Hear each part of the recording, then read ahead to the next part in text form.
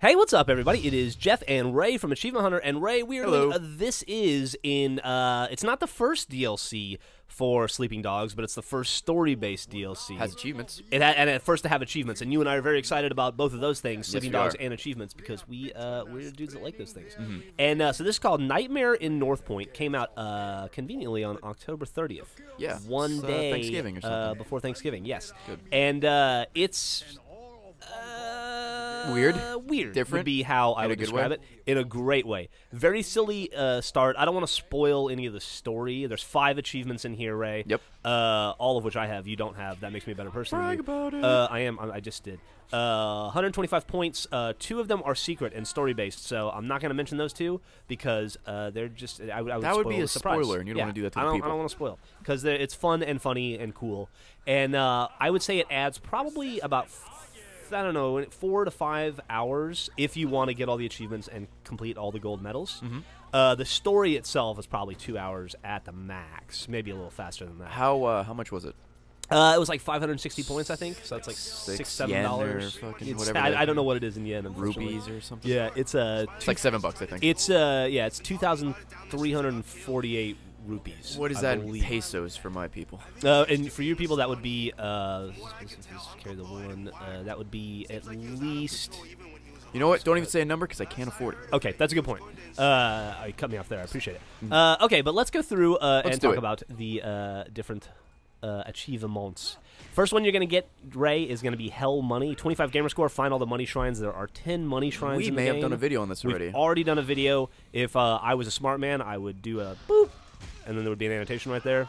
Are you gonna do that? Uh, maybe. if I remember to. Boop, there it goes. It's gone. It's gone. And uh, there's 10 of those. They're pretty easy to find. And they're all Uh, in North Point. yeah. Obviously, you're not gonna drive all over the place. Yeah, you can drive all over the, the gaff if you want to. Oh, you can. Uh, I thought that it would block it, but everything takes place in North Point, and there's really no reason to go anywhere else. Oh, okay. So unless you just want to watch uh, citizens of uh, Hong Kong with creepy blue glowy Yeah. eyes. Well, Uh, but uh, yeah, and then uh, the next one is ghosts and stuff for 20 gamer score, which is to complete all secondary content. Secondary content is. Uh, well, there's like these demon doors that open up you have to shut. Then there's certain kinds of demons you have to kill, and then like there'll be Like civilians you have to help. oh, That are, okay. like, oh, so like the events and Yeah, the they're, they're exactly the events. Gotcha. And there's not many of them at all. I was done with them, but I think there might be, God, I want to say like seven or eight. Okay. If that many. Uh, it it goes really fast, yeah.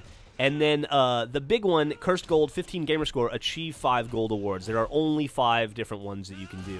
Uh, they are to kill 200 of the n- name of the monsters that I can't pronounce. All right. Is, are they blue or purple? Uh, they're just like whatever. Okay. Uh, Nice. Then uh, There's uh, um, all the collectibles. yeah, there's get all the collectibles. There's kill 20 of the demon whose name I can't pronounce. Yes. Okay. Then there's another one to kill 15 of said demon with a bamboo sword. Okay. And then uh, the last one is to avoid 100 zombie bites. Is it like a quick time thing? Yeah, it's like you know how when you counter. Oh, yeah. Uh, they they will they have like three different attacks that they'll throw at you, Mm-hmm. and one of them they'll try to bite your neck, and if you just counter at that moment, uh, you'll do that. The whole the meat of this thing is The meat and potatoes. the meat and potatoes of this is cursed gold, and uh, it's there, there's some good information I can give you. Like in the in the game itself, if you if there's a good like grinding point in the game, you can go back and replay that mission. Cannot do that in here. Yeah. Once you've completed it, it's done. You can drive around the city like an asshole. Like when I finished, Would I had, drive around in the gaff? all over the gaff. Okay.